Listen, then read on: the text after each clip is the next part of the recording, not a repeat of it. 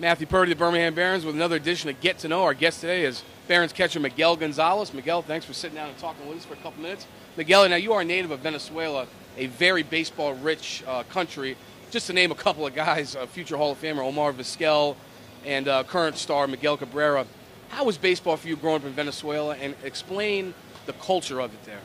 Yeah, it's it's, uh, it's a little bit different. We got like too much crowds there. It's different intensity. It's like it's more like you have to play hard every time, like like we play here, and the people are, are different. The baseball is, is more like more quiet, more more easy. There is like more screaming people. You know, it's, it's kind of different a little bit. Kind of like a rowdy football game here in America. Yeah, yeah, yeah. And we play like. I mean, I don't have like off season. I just play here, finish here, and I go into Venezuela and have to play there with the Tiburones de la Guaira team and uh, it's kind of fun, man. I like playing all year, and I enjoy that. Was there anyone growing up, Miguel, that you idolized as playing the big leagues now from Venezuela? I mean, we play we play a lot of guys like in the big leagues, but last year I played with uh, Salvador Perez, Kansas City catcher, and uh, Hector Sanchez, San Francisco Giants catcher, and they teach me a lot. I learned a lot about them. Yeah. How about your time here in America since you've been with the White Sox organization? You signed with the White Sox as a free agent in 2008. How's your time been here since you started playing pro ball in America? Yeah, I signed in 2008 and uh, with the White Sox, and I went to Dominican Republic in 2008. I played two months there. The next year, I come to a spring training, and like four years ago, and I played Bristol, Kannapolis, Winston, and here. It's, it's a great experience. I mean, I love playing here, and I like to play hard and, all those. Now let's talk about the party, man. You guys clinched the first half North Division uh, about a week and a half ago.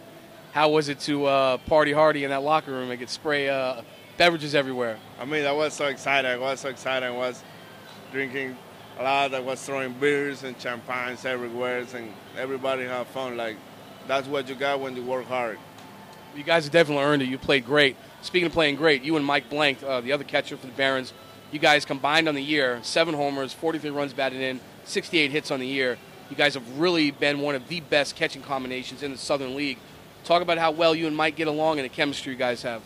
Yeah, we, we're always talking about those games. We, we talk each other like like how we're gonna try with the pitcher strength, how we're gonna pitch, like those guys, different things, and it's kind of like like you have to change everything every series. You have to know how you're gonna pitch every hitters, and that's what that's what we success. And the pitchers, those, those trying to keep the ball down and make those pitchers, and that, that's what we're working at. Now, entering this season, Baseball America ranked you as the best defensive catcher in the White Sox organization. Who do you credit for the hard work you, have uh, put in on defense? I mean, I, I credit uh, J.O. He's a catcher's coach. He been teaching me. I mean, all I know about catching, he teach me like 2008 when I was 17.